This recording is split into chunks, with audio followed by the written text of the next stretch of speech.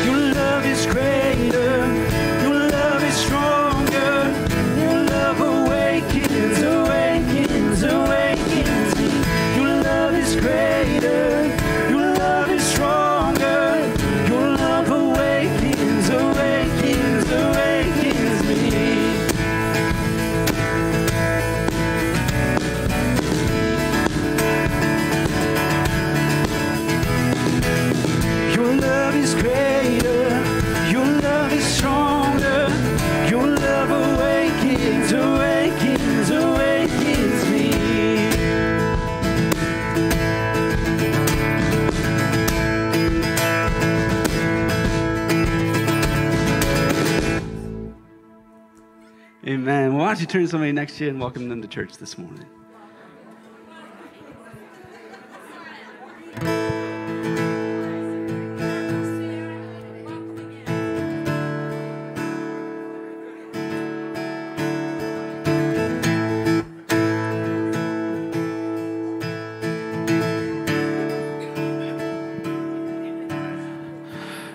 Good morning. Y'all can have a seat here a second. My name is Zach, and I serve on the worship and uh, tech team, and I also serve on the story advisory team as well as the Zero Collective leadership team. And we just want to take a moment here in this service, uh, as you may be aware or may not be aware, today or this month is October. Oh, sorry. This month is October. Uh, is Pastor Appreciation Month here, uh, and it's so. I, think it's very evident just how blessed this church has been by our pastoral staff, and so we just want to take a moment out of our service to celebrate that this morning. So, um, one of the things that I just want to highlight here is that a similar theme throughout the leadership of this church and from the beginning until now is that they all have trusted and learned and leaned into what God has called them into. And it says in Ephesians 4, verse 11 through 12. Now, these are the gifts Christ gave to the church the apostles, the prophets, the evangelists, and the pastors and teachers. The responsibility is to equip God's people to do his work and build up the church, the body of Christ. And these folks do that um, through sermons, children's ministry, youth ministry, or leading us in worship. So today and this month, we celebrate those leaders in our church. So I'm going to call up these four individuals Sarah Van Mittendorp, Steve Scudder, Parker Weirda, and Mr. Kyle Cottridge. Uh, now, we have a special gift for them on behalf of the leadership team here, which consists of Lori Tosh, Erica Chandler, Dave and Kate Dykstra, and myself. And the nice thing is, this service, they get to keep their gifts. First service, they didn't get to do that. so you guys can actually take them home this time around. Um, but we just want to highlight a couple things about each of these individuals. Um, I'm going to start off with Sarah Van Mittendorp. Uh, some of you may know Sarah is our children's pastor. Um, and just, Sarah, thank you for the way that you serve. Um, children's ministry is such a vital and uh, a vital part of any church, and just you do it so well. Um, in Deuteronomy six verse seven, it says, "Impress the scriptures upon your children." And the lesson plans that you craft and the ways that you demonstrate Christ to those kids and the way that you built up your team is such a blessing and a testament and reflects that verse uh, to them. It's really cool to see the kids. Um, they come out and they regurgitate those things. They, they keep referring back to those, those things and it just shows how impactful children's ministry is and the work that you are doing. And there's a lot of work that goes in this role, church. It's not just uh, showing up on a Sunday and watching kids. There are lesson plans thought into. There's coordinating volunteers. So there's just a lot that goes into it. And Sarah, you do it so well and you do it graciously as well. So thank you for leaning into your role here at this church and leaning to what God has called you into.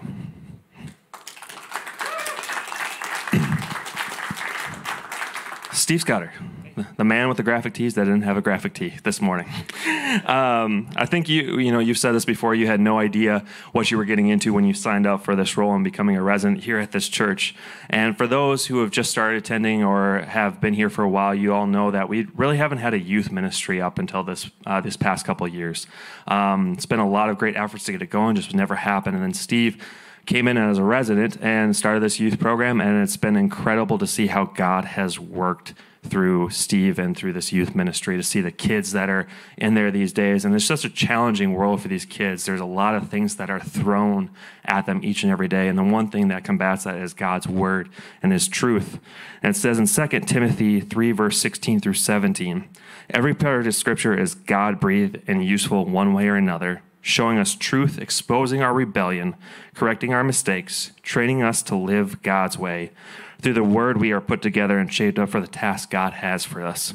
Steve, you do a great job demonstrating just that to our youth, encourage them to engage with God's word um, and helping them have, uh, have their faith journey become their own. So thank you for all that you do and that, the way that you lean into what God has called you into this church. I'm almost off the side here. Parker Weirda. This one's a lot of fun because he's my brother-in-law. If you didn't know that, um, and just the thank you for being such an awesome worship pastor. You know, we've talked about this a little bit, but back in May of 2023, we're at my other sister's wedding, and uh, we we had joked with him and said, "Hey, we have this worship pastor position available. You should apply for it." He did apply for it, and through prayer and process, you know, he ended up here in Michigan and from Haiti and uh, moved up here with my sister. Um, and so we're just so grateful for how you leaned into that, how Abby has leaned into that, um, and just the way that you have grown in this role, how you have served in this role, and how you have led well and discipled intentionally. Um, you have such a heart for worship and leading people into God's presence and using your gifts and you've tackled challenges that have come your way. There's a lot of work that goes into this every Sunday the lights, the tech, the scheduling, the coordinating, working through songs. It's not just picking songs, it's picking songs that go with the sermons, that best fit the group and everything like that. So there's just a lot that goes into that. And so thank you uh, for all that you do, and thank you for the servant heart, and thank you for leading into what God has called you into in this season. Kyle, last but not least, uh, I was going to make a joke about his tight t-shirts, but he wore a properly fitted shirt today. So I, he makes fun of my bald head and my food choices. So it's all fun and fair game. So, um, but it's hard to believe that it's almost been six years. It'll be six years next month that you took the call to the story to become the lead pastor here. and It was your first lead pastor role as well. Um, and just to say, you are incredibly gifted in this. I know you had a lot of unknowns coming into this. I know that it was a yes before how type of situation. You were like, how am I going to do this? But the Lord has gifted you and you've leaned into that as well. And you've led this church through a lot of different seasons, a lot of unknowns, a lot of, uh, we had COVID happen. Um, it's just been a lot. And the one thing that you've reiterated time and time again is to keep leaning into what God's going to do and uh, sowing or reaping or sowing those seeds. And uh, now we're reaping those seeds. And just that constant reminder of that. Um, and, and, you set that tone for our church. And it says in Jeremiah 3, verse 15 says, I will give you shepherds after my own heart who will lead you with knowledge and understanding. And I think that verse reflects how you've led. Um, you are after God's own heart and you lead with knowledge and understanding. And even the things that you don't know, uh, you reach out, you ask questions, you're willing to get other people involved, which is another type of knowledge and understanding. And there's just a lot of work that you do behind the scenes as well, and the way that you lead your staff, the way that um, there's so many different things that go on in this church behind the scenes that probably a lot of people don't know about. So just thank you for the way that you've stepped into your call and leaning into what God has called you in this church in this season. So thank you very much. Let's give a round of applause to all four of these. Now we're going to take a moment to just pray over them. So if you could extend your hand for just a time of blessing for this leadership right here. So, Lord, we just thank you for this day. We thank you for just the blessing of this, these four people up here on the stage. We thank you for calling them here to the story. We thank you for the ways that you have used them to further your kingdom in children's ministry and youth ministry and worship ministry and just overall shepherding of the church, Lord. So we just pray a blessing over them. We pray a blessing over their families, their spouses. We pray that uh, your presence would go before them, your presence would be with them each and every day as they walk with you, Lord. We pray this in your mighty name. Amen. Uh, after the service, there's you may see there are four boxes in the lounge. Uh, we're gonna keep those boxes up for the rest of. No, they can keep them, right? Okay, okay. um, there's uh, there's four boxes in the back. These are uh, you can write little notes of encouragement of appreciation to them right here. We're going to keep that up through the end of the month, um, and there also there's cake afterwards. So dig in. We got lots of cake, and uh, it's Costco cake too. It's even better. So there we go. All right. Well, I'm going to pass it off to Sarah Van Mittendorp. Well, thank you again, Zach. Um, like he said, I'm Sarah. I'm the children's ministry director here. Um, so if you don't know me or you don't know some of our staff up here, maybe you're new, and we want to welcome you here today. Um, thank you so much for being here. We're glad you joined us. And if you're watching online, we're glad you're watching, and we hope that God will bless this time as we do our service together. Um, and so if you are new here, or maybe you have a new phone number or new address to update in our um, system, if you would fill out our connection card. Um, so that just lets us know who you are and that you came, and it allows us to um, connect with you and just keep you plugged in on what's going on in our church, maybe some upcoming events. So um, one of those upcoming events is our trunk or treat. So we host that around Halloween time. So this year it will be October 26th from 2 to 4 p.m. And so I have a few individuals in the church who have been helping me for actually a couple months, just getting plans together and getting things ready to make it a really fun event. But we really still need all of you. So if you are available that day, you have a car or a truck that you want to come and decorate and hand out candy or treats to our community, um, it's a great opportunity for us to invite our community here um, outside in our parking lot and like Last week, we prayed for the 55% in our small community who do not have a relationship with God.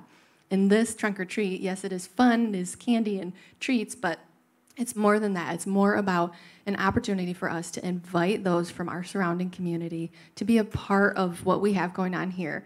And it's not coming into the church for a service, which maybe they are not willing to do yet, but if you show up and you hand out treats and you're a smiling face and a friendly person to them, you are representing this church to the community around us. And so I just ask if you're willing to come in that day um, for a couple of hours and hand out treats and be a smiling face to our community.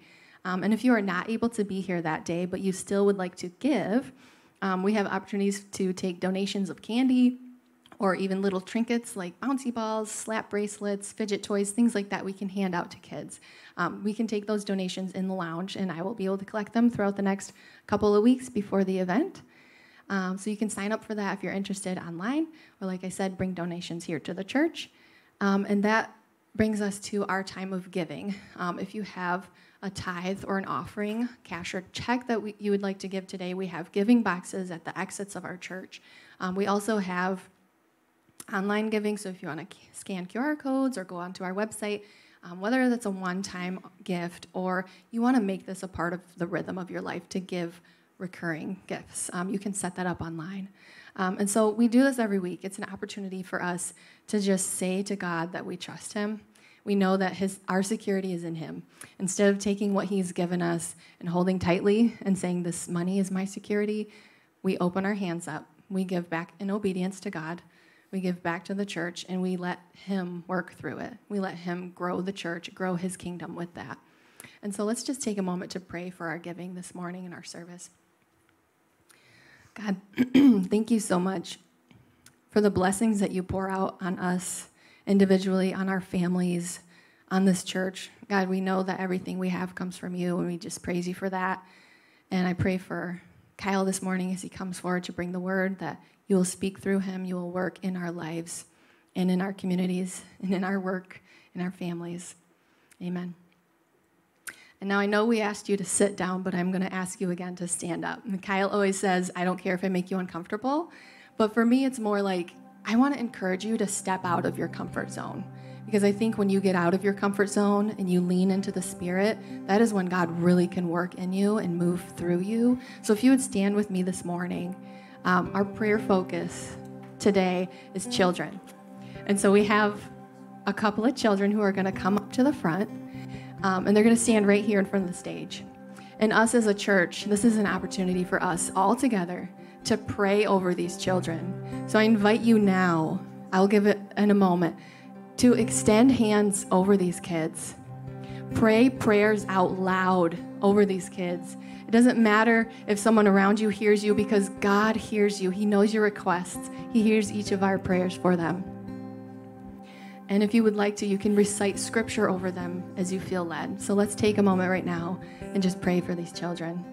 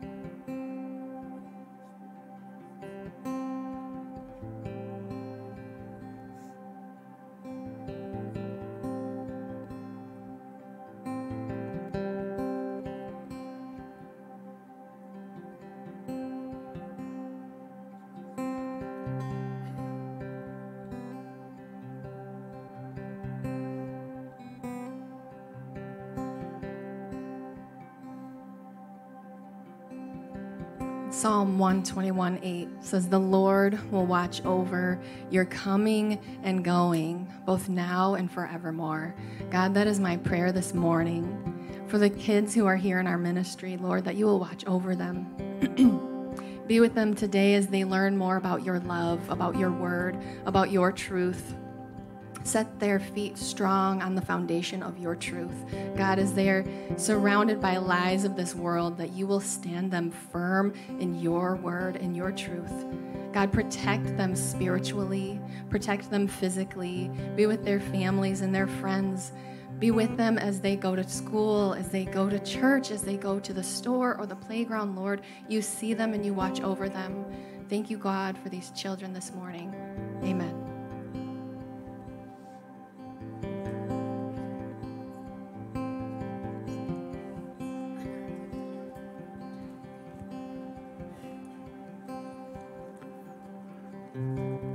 Well, what a cool morning it's been already. If you don't know, uh, starting last week, um, we've been doing a pre service prayer time uh, just in this room. And it's for anybody, it's open to anybody. Um, and it's just a time to come and pray with one another, pray over somebody if you're seeking prayer yourself. Um, but this morning, as we were sitting in that meeting, um, I was just praying for just something new and something fresh in this place. I don't know about you, but over the past few weeks, it's it's definitely felt that way. There's been a stirring in this room. There's been something new, and it's really exciting to be a part of. But as I invite you back into this moment of worship, um, I invite you to just think about what it means to sit in God's presence this morning. My prayer is that when you come into this room on a Sunday, it's not something that's uh, transactional. You're not coming here to seek something for yourself, but you're coming here to offer yourself in this time of worship, um, to come before God and offer yourself in this place this morning, uh, and not just coming seeking something for yourself, but coming to offer something this morning. And so as we as we worship, we're going to worship in the truth of um, just resting in God's presence this morning, and that's my prayer over you.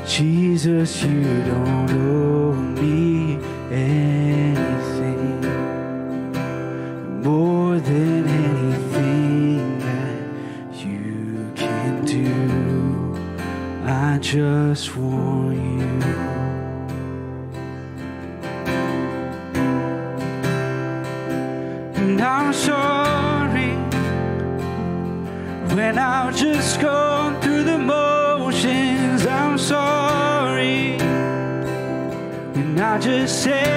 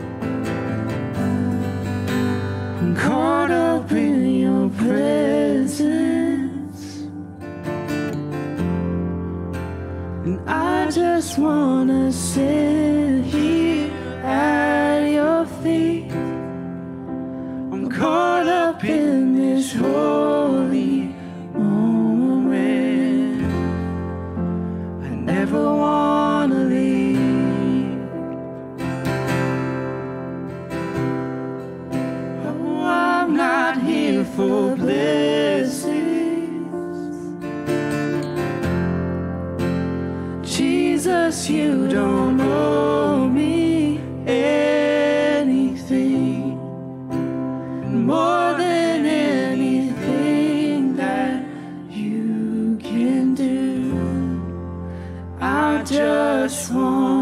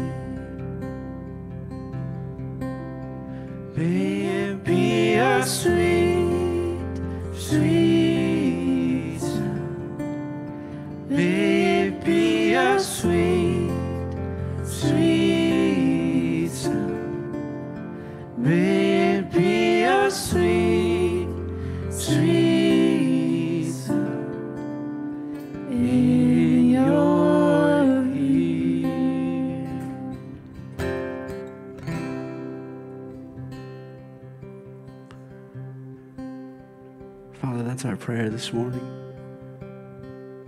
Lord, as we worship you, may it be pleasing to you this morning. Father, we come seeking nothing for ourselves, but we surrender to you here in this place. Father, just make your presence known in this room and amongst your people. And even as we leave this building, Father, just make your presence known amongst this community. We pray this all in your name. Amen.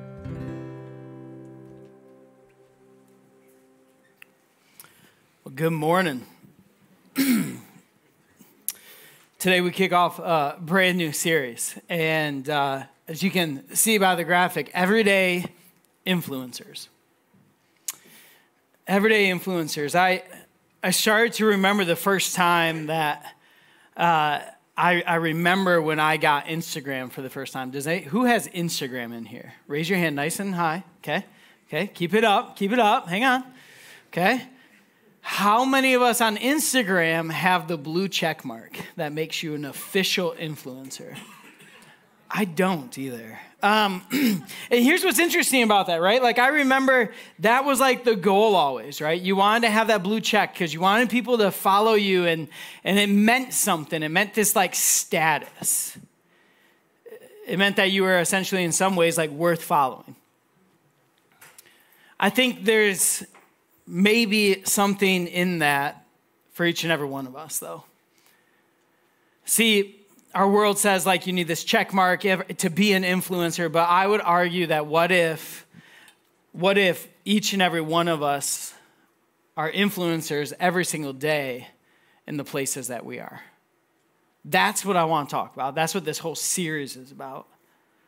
And it started to get me going down this rabbit hole, this, this trail of starting to think about certain brands. How many of you guys would remember these brands? Kodak. Anybody remember Kodak? Yes. Okay, okay, that's good, that's good. What about Nokia? Right? Like there are some of us that our first cell phone was the brick phone of Nokia. It was massive. You could run that thing over with a tank and it still would function. I, I swear by that. What about how many of you guys remember Blockbuster?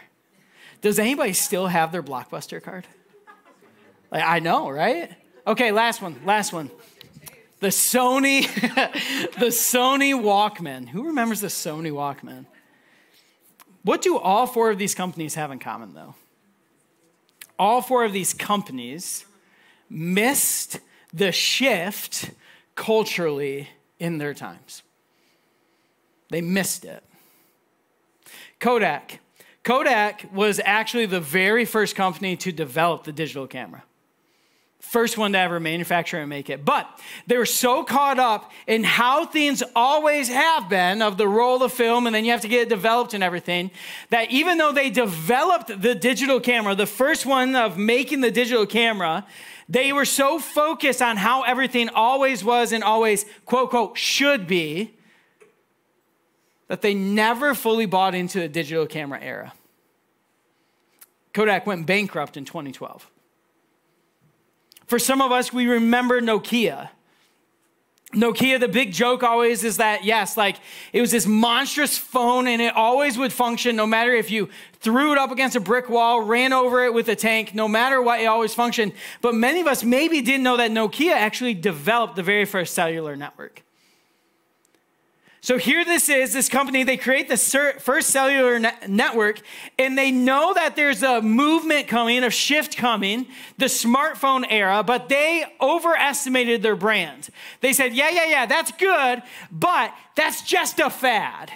People actually don't want to be accessible all the time with email and everything. So we're not going to fully go into that. And if we have to, our brand is that good that will just catch up.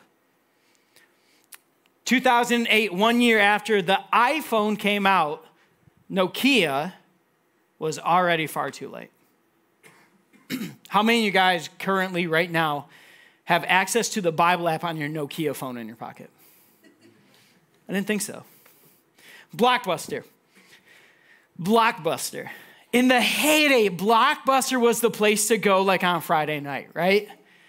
You'd pack the kids up, and maybe you were like my mom, and you, we were all getting in the car, and then we unload, and it was like, okay, you keep your hands in your pocket. No, we're not getting any candy. No, we're only getting one movie, and you all must decide on the movie. And outside of that movie, we're not getting anything else, right? Because this was like, it was like the doors open and it was almost like a glimpse of heaven. It was like, oh, and you're like, this is amazing, right? And there's aisles upon aisles upon aisles of DVDs. Maybe you were around for VHSs, but DVDs, and you're like, this is awesome. And then you stand in line, what felt like forever. And then you have to return it after so many days. How many of you were like me and my family who forgot to return them? And you get hit with that $45 a day late fee, basically, right? You're like, dude, I just bought the movie five times. Blockbuster, though, they were so believing that nobody actually would do anything besides go to their stores and rent a DVD. There's a moment where somebody came up with this radical, crazy idea that people would actually rather go on their, their phones or their internet and rent a DVD and then have it mailed to them in like two days. And they'd rather like that was the shift. And somebody was like, I think this is going to be great. Like, they can go on, they can get it mailed to them, they can watch it, and then they just put it back in the mailbox and it comes back to us and they get another one. Did you know that they came to Blockbuster and said, Hey, I have this idea, I'll sell you this idea? And Blockbuster goes, That's the dumbest idea in the world. We're not doing it. You guys know what that company is now? Netflix. Netflix. Blockbuster had the opportunity to buy Netflix before Netflix was Netflix. And they said, that is the dumbest idea in the world. There's one Blockbuster in the world that still is open, and it's in Oregon. One Blockbuster. How many of you use Netflix? Miss the shift. The Sony Walkman revolutionized this idea of how we can take audio with us, music with us. For some of us, you start out with like the cassette. Others of us had the CD player, and you couldn't walk too fast or jog because it actually would still skip. And so you're like supposed to be running, right? And you're like, oh, I gotta slow down. Like, you're defeating the purpose, Sony. But we thought it was the coolest thing in the world, right? It revolutionized it. Did you know that Sony the Sony Walkman had not just all the technology, but all the resources to create a better product than the iPod. But they said, no, we don't need to do that. We're too scared that it might fail. So they never created it. What about one more brand? Can we do one more? I think there's, uh, we're in, I think that in today's day and age, there could be one more that is on the verge of potentially missing the shift culturally the church. The church. Hear me on this. Before you're like, oh my goodness, God has gone full crazy. Partial, not full yet. Are we soon to be added to the list of the missing of the shift? See, all of those companies had great plans. They had a great mission and vision strategy. They understood where they were going, they understood what they were doing, but yet they missed the cultural shifts that were happening. What happens if we do the same? The church has always been God's plan A. It's from the very beginning, like God's plan A was the church, his people. And, and I'm not suggesting that the message changed. The message has been the, the most powerful, life transforming message this world has ever known. That God would see the hot mess express of the world and send his only son into this world to die for us, to be buried in a grave, rise again three days later, and send his Holy Spirit to us. That message is eternal. I'm not suggesting by any means that his message has to change. But I do believe that if we're not aware of some of the shifts happening, and we're so stuck in, well, this is the way church has always been, or this is the model it always has to look like, we may miss the shift and miss an opportunity to bring people into the kingdom and into the presence of God. And I don't know about you, but as much as I pray, God, would you come? Yesterday would have been a great day. There's still people in my lives that I'm like, but hold up, let me talk to them first. Because I don't want to be in heaven if they're not there too, because I'm praying for them and I want them there. Are we on the cusp of missing a shift? Rich Villodas, he puts it this way We don't build the kingdom of God.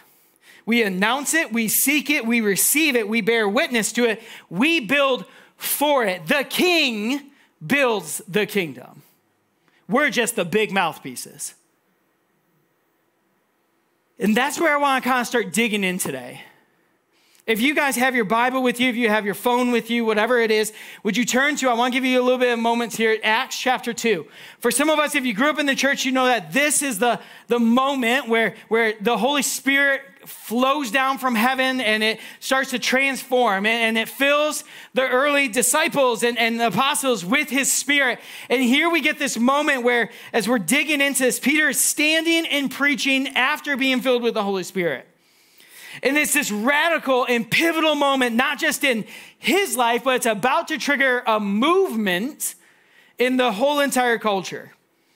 We see him and others being gathered and he's preaching. And, and as Peter is doing this, He's doing his best to help the followers of Christ to remember what Jesus said. Like, Jesus has called you to be the salt and light of the earth. And so, what Peter is not going to do is he's not going to sugarcoat the gospel because you can't be salty if you're too sweet, okay?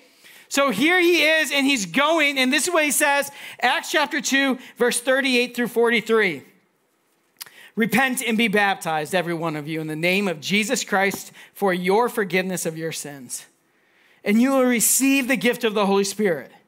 The promise is for you and your children and for all who are far off, for all whom the Lord our God will call. And with many other words, he warned them and he pleaded with them save yourselves from this corrupt generation. Those who accept his message were baptized, and about 3,000 were added to their number that day. So they devoted themselves, they were steadfast to the apostles' teaching and fellowship, to breaking of bread and to prayer. Everyone was filled with awe at the many wonders and signs performed by the apostles. So here Peter is. Gets up and he's preaching his heart out. And it says that people are being transformed, people are being added to their number. And they ask, like, okay, so Peter, what should we do? And his, his answer is, is very simple, right? Repent Turn away from your evil ways, turn away from your sinful lifestyle, turn away from the things that this world has always been doing, and turn back to God. And once you do that, he says, then go and be baptized in the name of Jesus Christ, your Savior. So repent, be baptized. What's intriguing is that this is not this far off concept for his audience at the time, the Jewish people at the time. Repent, yeah, we understand that. But then he instructs them to also be baptized. Baptism back in that day would have been a different idea or even concept for the Jews. Why? Because they are God's people. So baptism would be essentially, in some ways, reserved for the Gentiles, those other people who are trying to become Jewish, and that's how they would do it. But here Peter is, he's like, no, no, no, no, no, you're missing it. Everybody, everybody needs to get repenting and be baptized. He's like, This is for you, this is for me, this is for all of us. Repent and be baptized. And so here they are, they're gathering together, and don't miss this. It says that the Jews who are gathering as he's preaching are steadfast. They're steadfast, they were devoted. Devoted in their doctrine, devoted in their fellowship, devoted in observing the Lord's Supper, the breaking of bread, together and devoted in prayer. They gathered. But you have to imagine that as Peter is preaching and everybody is there gathered together, there's a moment where there's a realization that somebody's missing. See, they're gathering in Jerusalem. Jerusalem is, is located in the heart of Israel. It's located right there where the temple is located. The church is being birthed out of Jerusalem. Jesus rises from the dead here. The Holy Spirit is descending upon them here in the upper room. Jerusalem is the heart where everybody was gathering. But there's another place that God wanted to do something different. He wanted to make a shift about 300 miles away from Jerusalem, is this intersecting point for tons of roads Antioch. As Jerusalem is the place where everybody is gathering, God is stirring and doing something new in the church in Antioch. Something different, something actually very radical for them at their time. This is what it says if you flip ahead a couple of chapters, Acts chapter 13. 1 through 3, this is what it says in Acts 13. Now in the church at Antioch, there were different prophets and teachers Barnabas, Simeon, Lucius, Manaen, and they've all, and then Saul. And as they're standing there while they were worshiping the Lord and fasting, the Holy Spirit said to them, Set apart for me Barnabas and Saul for the work to which I have called them. And after they fasted and prayed, they placed their hands on them, Barnabas and Saul, and they sent them off. God says, I have a special work, a special mission and call for these two men. And so here's what I need you to do I need you to place your hands on them, commission them, and send them out. It, this is different than what the church has looked like just a few chapters before. How they did things is not like this. You have to remember Jerusalem here is a place where everybody gathers. Hey, go and tell your people to come and hang out with us here. Come and be here with us. Come and hear about the scriptures. Come and do this. Come, come, come. It's all about coming to the church in Jerusalem. But then there's this moment in Antioch where they say there's something different. There's a shift happening, and it's no longer, hey, come and, and see, come and taste and see. It's go. You're sent out. There's a radical shift that is happening in the church in Antioch that would be a very different mindset for the church in Jerusalem because things are changing. Change makes us uncomfortable. And I think that it's so uncomfortable for so many different reasons. But I think if you look at different shifts or different changes in your life that you are uncomfortable, I think there's usually four markers. The first marker is this, and, and I should have put them up on the screen. It's totally on me. I didn't. But listen carefully, and i am going to share them, and then I'm going to go one by one and kind of expound upon them. Sound good? So the first one is this the landscape changes with forces outside of our own control. When, when things are happening, the landscape changes, especially with forces outside of our own control. There's also moments, even in this text, in this church of Antioch, and comparing it to Jerusalem, where, where God is moving in places and in ways that are unfamiliar to us. When God works in different ways that are unfamiliar to us. And when that happens, when the landscape changes and God works in ways that are unfamiliar to us, it causes us this lovely thing called anxiety, stress, confusion, and frustration not just personally, but also in the organization. And as we're left to think about all of this thing, the fourth one is, is it leads us to a place of what do we do now? Well, it invites us into a moment in a posture of discernment. Discernment. What does this look like for us? The landscape is shifting. If you've been living under a rock, Maybe you haven't seen how the landscape is shifting culturally. But the landscape is drastically shifting. In recent surveys, almost 80% of people surveyed would not come to a pastor for any type of counseling or life crisis in their lives. 80% said, I'm not going to go to any type of pastor or religious leader. I'll go to some outside source. Why would that be? Probably because 36% of Americans would rate pastors as having high ethical standards or honest, even. 36%. It's a historic low, by the way. I, I know that as a pastor, I'm not immune to seeing the headlines of scandal after scandal after scandal. Failure after failure after failure from pastor and religious leader whether it be sexual immorality, whether it be moral failures, whether it be narcissism driving them to the core, scandal and failure after failure, 36% of Americans would look at the profession of a pastor and say they do not have high ethical standards or even honest. 31% of those people would also say that the church is actually a source of wisdom.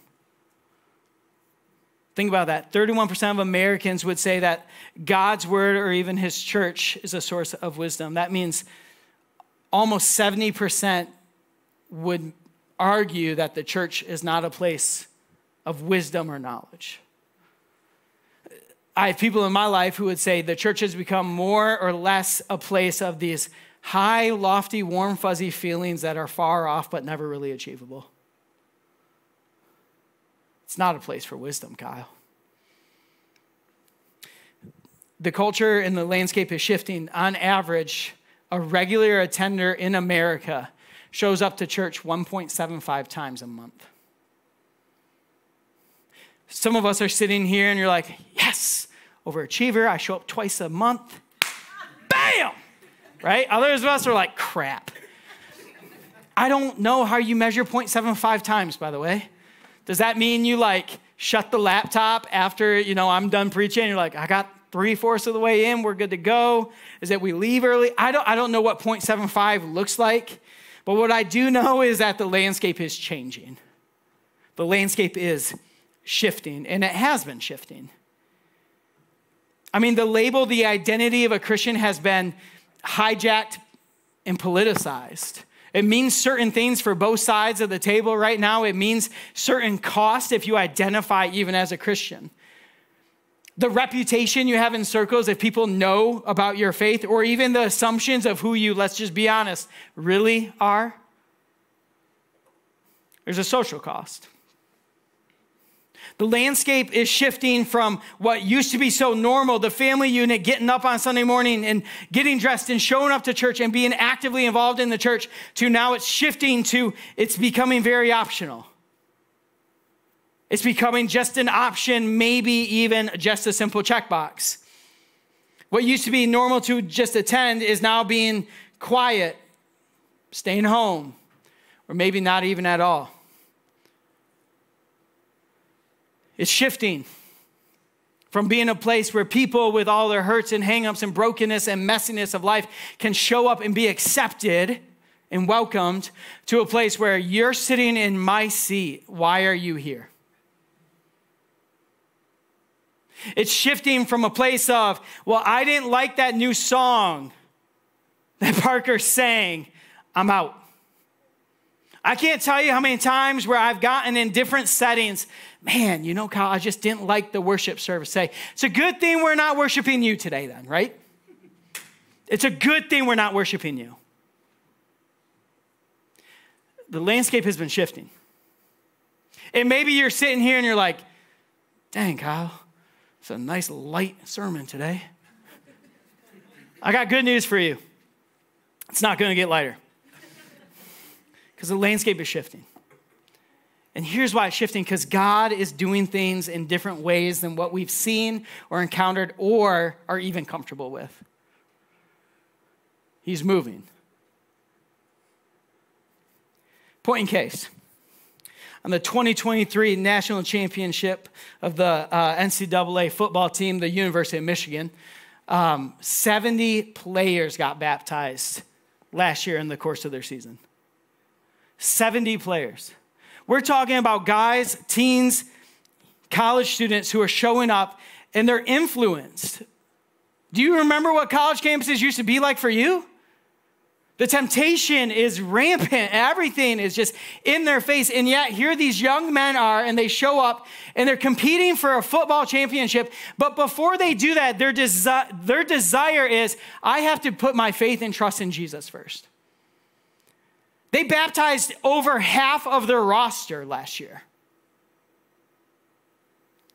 And maybe for some of us, we're sitting here and you're like, okay, but that, whatever. That's sweet, cool. Like, I, I, I, truly believe there's a movement and a shift happening. And if the church doesn't recognize it, we may miss the boat on hundreds, if not thousands, of people who God wants to invite us to participate and walk with them and invite them into the kingdom of God. We proclaim it. And, and, as we're sitting here and you're like, okay, but like, does God really go to places that are unimaginable and do this?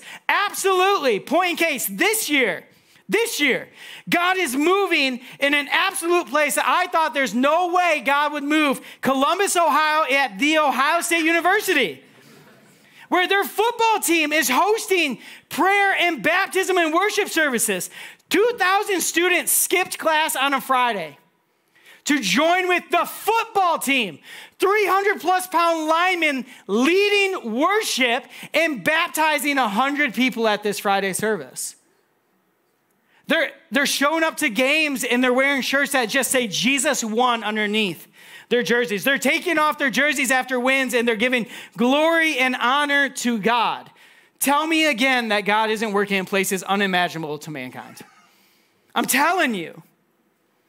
But it's so interesting to me as I sit here thinking to myself, we're so hard on people.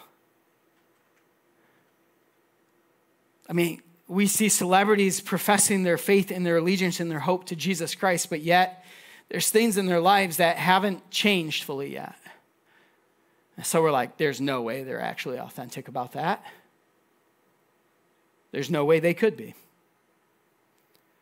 We forget, we forget that we're works in progress. I'm a work in progress. Like, did everything change in your life the very moment you accepted Jesus into your life and everything, all the bad things that you've ever done in your life disappear? At least for me, the temptation was still there. The brokenness in my life was still there. I had to still figure out stuff with God's help and His leading. But yet we look at people and we're like, oh man, they done did, did it again. People be peopling. Like I heard that this past week and I was like, that is the best quote I've ever. People be peopling. I'm like, yes, people be peopling. And, and like, how often do we forget that we are works in progress, that God is working in ways that are unfamiliar or different than what we can see? And it makes us uncomfortable because ultimately we think we're incapable, we're unqualified, we're, we, we can't be used by God. I'm still a hot mess. So, what is happening in this world in this shift is things are moving from being just secular and just sacred to there's this beautiful like blending of secular and sacred, and we're caught in it and we're like, that's messy. And it is. And I love it. I love it. Because in that mess, it leads us to a place where we become anxious, confused, frustrated, and so many other things. So many other things. It makes us anxious because we're looking at these people. I, I, look at these college students right now, and the first thought that sometimes comes into mind is can we trust them? Like, can I trust a running back to lead somebody to Jesus. He has no degree, he has no training. Like this dude's job on Saturday morning is to run through people. Can I trust him to lead people to the kingdom of God? Are we crazy? But but here's a kicker, right? Like we have all this anxiety because it's the same anxiety that the church felt with Antioch doing their new model. They're like, whoa, whoa, whoa, whoa, whoa, time out, time out, time out, whoa. You're sending them out? Did they pass the ordination test? Did you make them go through systematic theology 101 and 102? Do they understand the creeds and the doctrines and the theology that we're asking them to go? And, and here's what the best part about this the church is like, I don't know, but we're sending them out. And here's what we're doing we're telling them to preach the gospel and baptizing people. Like, it's very simple. The shift that was going on was very simple. It went from come to let's go. Are we next on the list, though? Are we next on the list? Are we too scared that if we let untrained, unordained people go and preach the gospel and baptizing people, isn't that what the, the quote, quote, professionals are for, Kyle? Like, isn't that your job? How do we, how do, we do this? It comes down to one thing discernment. Discernment. That's where we're at today. Discernment. Go on look at the recent studies. You can Google it, you can find it, it's very easy. The church is in decline in the West. Outside of two or three main big denominations, the church is in decline. Major denominations, major, major organizations in decline. Why? Well, this is how we've always done church, and this is how we're always going to do church. Fit in. It's essentially the question for us to discern are we going to get really good at managing the decline, trying to manipulate the numbers to make us feel all warm and fuzzy and good? Are we going to be okay with discerning what God is inviting us into? That's where we're at today. Are we next on the list of missing the shift? Because it starts with us realizing something that is so profound. God is with you wherever you go. We've said it, we've sang it, we, we, we are like, oh yeah, no, obviously, Kyle, duh. Yeah, but like, how often do we forget that? Like, God is with you wherever you go. As you're driving home today, God is with you. As you show up to your workplace on Monday morning, God is with you. If you go through the drive through at Starbucks, God is with you. We forget this truth that God is with you. And if God is with you, why do we not actively join in the journey and participation? Listen, I'm not asking you to change anything in your life. I'm not asking you to change your diet. I'm not asking you to start a new group. I'm not asking you to get like new tattoos or whatever. If you are getting a new tattoo, I'd love to go with you though. But listen, I'm not asking you to do any of that. All I'm asking you to do is take Jesus with you. Without shame, without guilt, take Jesus with you wherever you may go. Wherever you may go because we have to move. We have to make the shift from this attractional Jerusalem model come, come, come to the model of Antioch of go, preach the good news. And hear me on this. Hear me on this. Preach repentance and baptize people in the name of the Father, Son, and Holy Spirit. Those stories of people taking that seriously. College students baptizing their friends at 2 a.m. at a college campus in a fountain as security is standing there being like, You can't do this. And it's like 250, 300 college students are like, We don't care. There's water. We're baptizing people. Who's in? That's what the gospel is about. Like, go and preach the good news and baptize people in the name of the Father, Son, and Holy Spirit. Take him with you everywhere you go. We have to move from this feel good Jerusalem family camp. We're all in this together. This is so much fun. Oh my goodness, warm fuzzies. To this idea of what Antioch was, which was boot camp. We're going to prepare you. We're going to give you the tools. I'll teach you what you need to do. That's essentially what Paul and Barnabas were saying. I'll, I'll show you, I'll, I'll teach you what I've learned. And then we're kicking you out the door. You have a, there's a plan in place.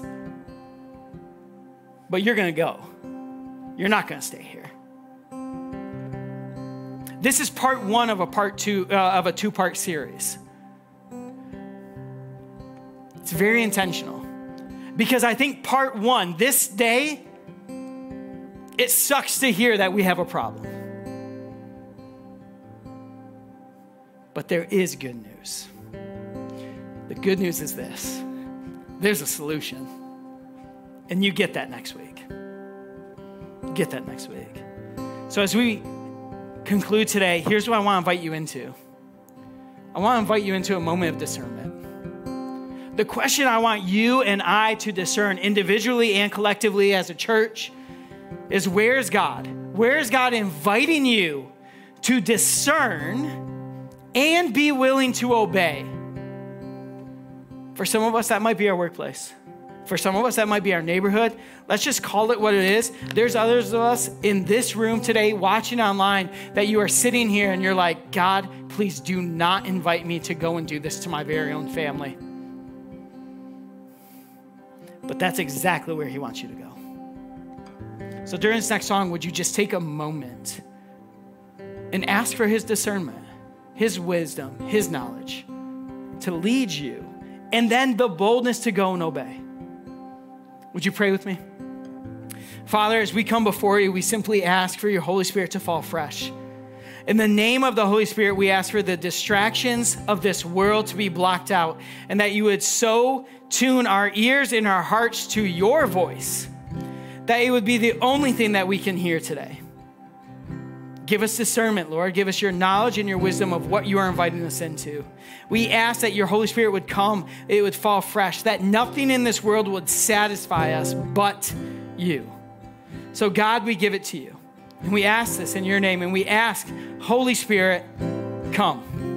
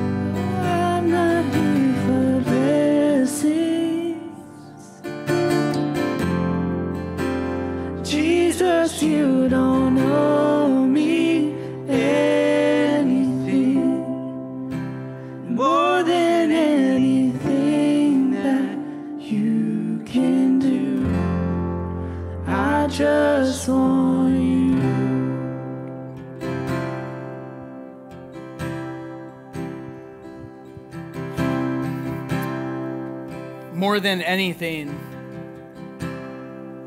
that last line, I just want you. What would it look like to take Jesus with you in every single aspect of your life? A radical shift different than ways we've done before. But that invite is there. This week, as you discern where and how God is inviting you into that, maybe you just need to keep asking that God, where are you inviting me into? Who are you inviting me to? And how do you want me to do it? And I fully trust and believe that God is faithful and He will speak that answer to you. Like I said, this is a part one of a part two of a two part sermon, so I, I hope you come back next week. I hope you come back because there is a solution. And let me tell you, it's a good one. I love y'all, and I'll see you guys next week.